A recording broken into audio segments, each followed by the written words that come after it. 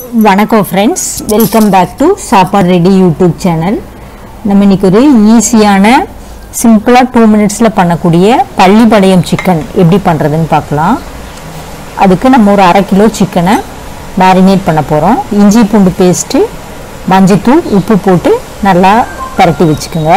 இப்படி பண்ணும்போது ஒரு கவிச்ச ஸ்மெல் வராமல் இருக்கும். அதே சமயத்தில் மசாலா சீக்கிரம் பிடிச்சிக்கும். நம்ம இதுக்கு மெயினாக வந்து சின்ன வெங்காயம் தேங்காய் வரமிளகா. இந்த மூணு தான் நம்ம அதிகமாக யூஸ் பண்ண போகிறோம் சின்ன வெங்காயம் வந்து ஒரு முந்நூறு கிராம் போல் எடுத்திருக்கோம். இப்போ நல்லா பொடியாக கட் பண்ணி வச்சுக்கோங்க. தேங்காய் பொடியாக கட் பண்ணி வச்சுக்கோங்க. தேவையான அளவு வரமிளகா எடுத்துக்கோங்க. உங்கள் காரத்துக்கு தகுந்த மாதிரி. நம்ம இப்போ வந்து ஒரு அஞ்சு வரமிளகா எடுத்திருக்கோம். அதை வந்து கிள்ளி அதுக்குள்ளே இருக்கிற விதையை வந்து ரிமூவ் பண்ணி எடுத்துக்கோங்க. ஏன்னா விதையோட போட்டிங்கன்னா காரம் ரொம்ப அதிகமாக இருக்கும். அதனால அந்த விதையை வந்து நீக்கிக்கோங்க. நல்லா பொடியாக கிள்ளி எடுத்துக்கோங்க. விதை தனியாக மிளகாய் தனியாக தனியாக எடுத்து வச்சுக்கலாம்.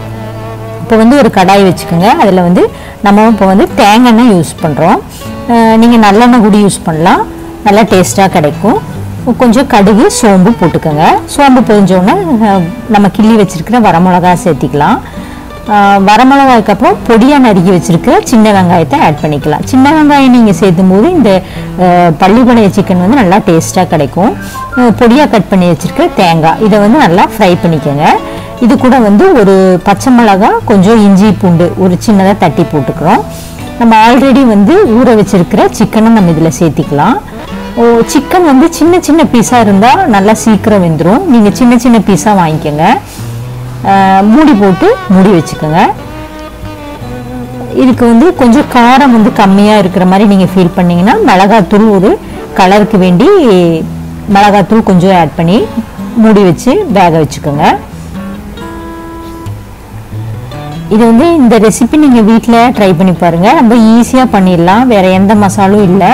நல்லா சாஃப்டாக வந்திருக்கு சிக்கன் கொத்தமல்லி தூளை தூவி நம்ம இறக்கிக்கலாம். இந்த ரெசிபி நீங்கள் ஈஸியாக பண்ணிடலாம். நல்லா ஹெல்த்தியாக இருக்கும். நீங்கள் வீட்டில் ட்ரை பண்ணி பாருங்கள் இது மாதிரி ஹெல்த்தியான ரெசிபி உங்களை வந்து ரீச் பண்ணணும்னா மறக்காமல் எங்கள் சேனலுக்கு சப்ஸ்கிரைப் பண்ணுங்கள் தேங்க்ஸ் ஃபார் வாட்சிங் தேங்க்யூ